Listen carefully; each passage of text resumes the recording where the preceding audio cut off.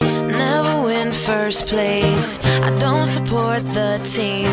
I can't take direction, and my socks are never clean.